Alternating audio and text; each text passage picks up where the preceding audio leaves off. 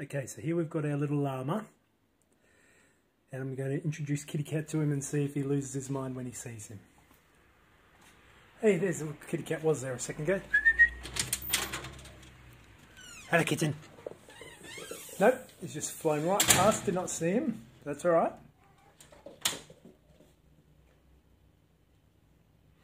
Oh. Fuzzy tail.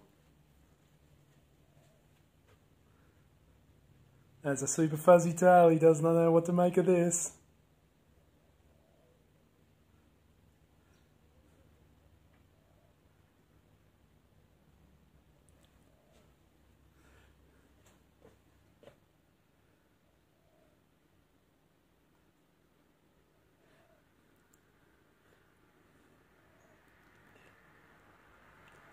Tail's starting to come down. He thinks he's going to eat it. He's eating it.